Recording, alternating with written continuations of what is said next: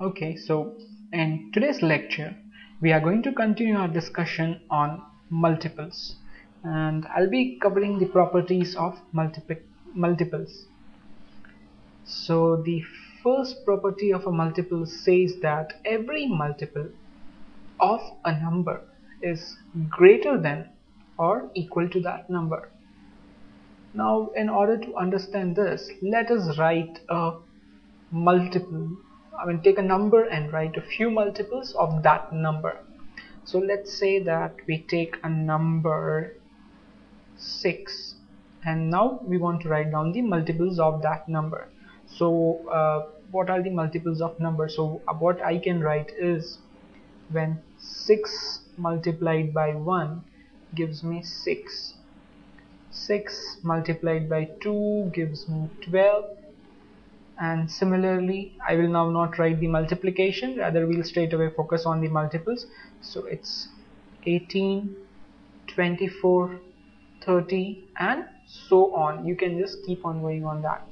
Now what this rule says here that what what is the minimum multiple that we can have for a number? And that would be when we multiply with the number itself by 1 that is if you see this multiplication here we have multiplied 6 by 1 and that is when we get 6 if you see all the other multiples that is 12 18 24 and 30 all these multiples they are greater than that number. They are greater than this number 6 so that is this is what our observation says that every multiple of a number is greater than or equal to that number. Now the second rule says that the number of multiples of a given number are finite. Now what do we mean by this word finite here? Finite means that you can kind of count these numbers.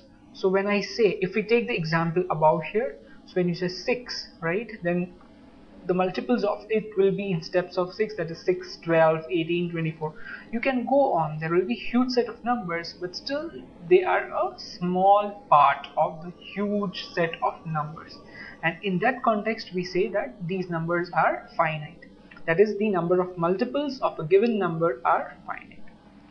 And every number is a multiple of itself and that again follows from the first example here. That is if we take the number 6 then we have 6 multiplied by 1 that is you can always a number will always be a multiple of itself when we multiply it by 1 and that is where this observation about multiples.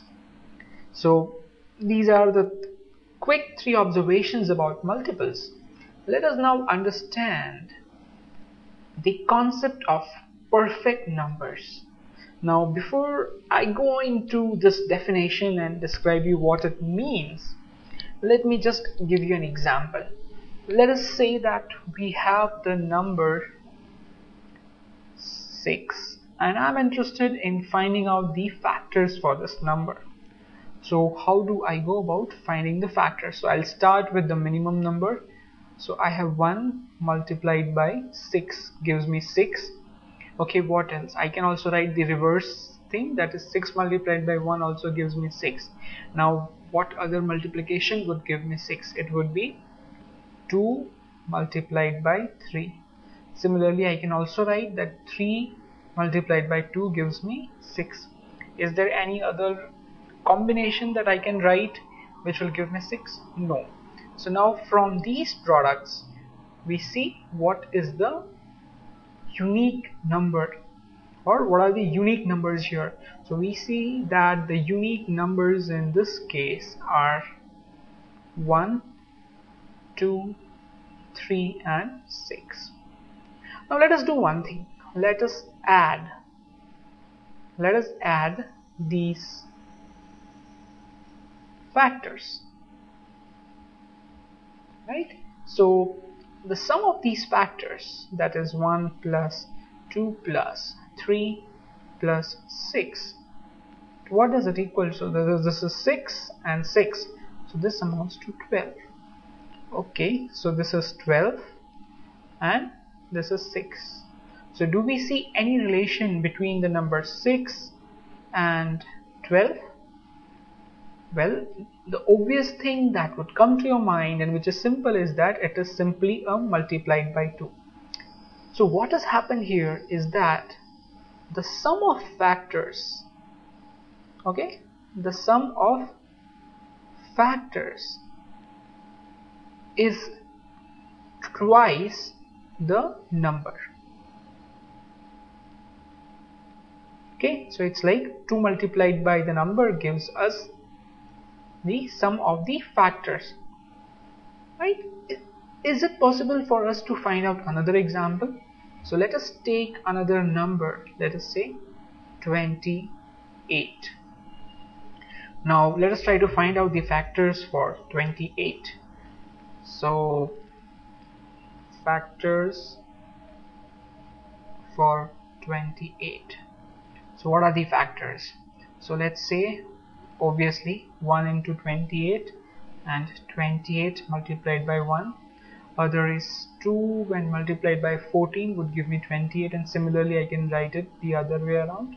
What else? Yes we also have 4 multiplied by 7 or 7 multiplied by 4 that gives me 28 is there any other combination that we can think of?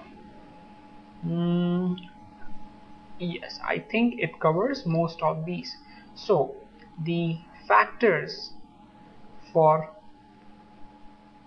28 number 28 they are